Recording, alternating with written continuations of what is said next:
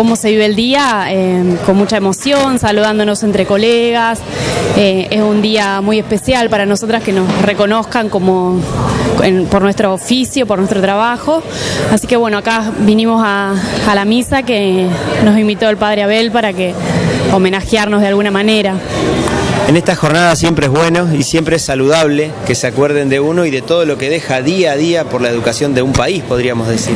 Sí, eh, la verdad que sí, es importante que nos tengan en cuenta porque para nosotros es algo especial. Yo soy docente porque amo ser docente, me encantó siempre, eh, desde chiquitita jugaba a ser eh, maestra y bueno, y creo que es lo que realmente me gusta porque sigo trabajando, me sigo esmerando, esforzando, capacitando para dar lo mejor de mí.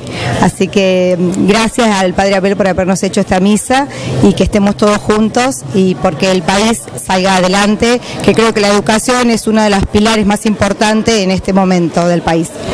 En un encuentro como el de hoy, donde hay docentes jubiladas, docentes en actividad y futuras docentes, imagino que debe ser un momento bastante particular para todos ustedes.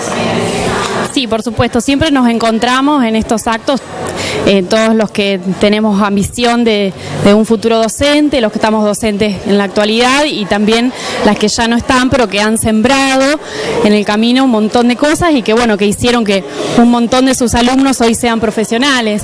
Así que bueno, sí es eh, un día muy especial y de encuentro también.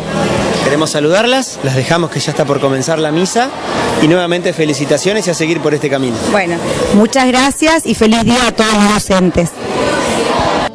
E será como